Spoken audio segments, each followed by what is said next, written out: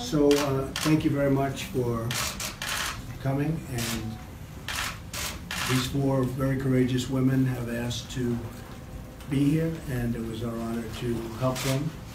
And I think they're each gonna make just an individual short statement, and then we will, we're gonna have a little meeting, and uh, we'll see you at the debate.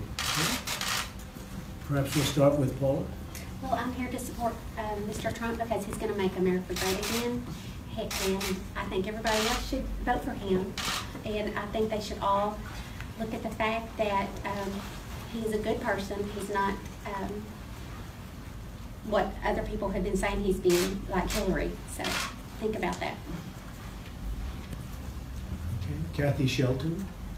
So I'm also here to support Trump. Um, I, uh, at 12 years old, Hillary put me through um, something that you would never put a 12-year-old through.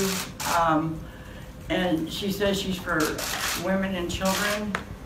And she was asked last year on what happened, and she said she's supposed to defend whether they did it or not. Now she's laughing on tape, saying she know they did it. You went through a lot.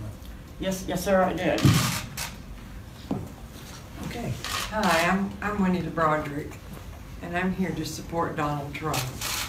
I tweeted recently, and Mr. Trump retweeted it, that actions speak louder than words.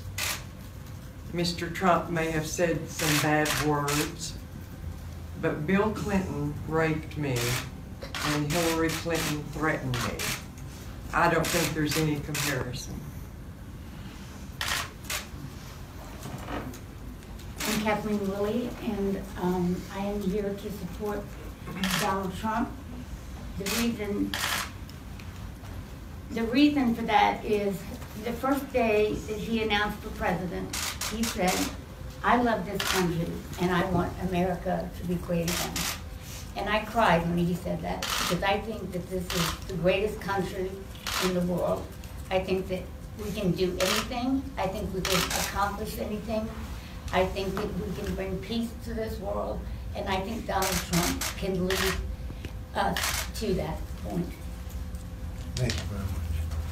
Thank you. Okay, thank you all very much, we appreciate it. Mr. Trump, Mr. Trump, you touched a woman, woman without their consent. Mr. Trump. Why did you say you touched a woman without consent, Mr. Trump?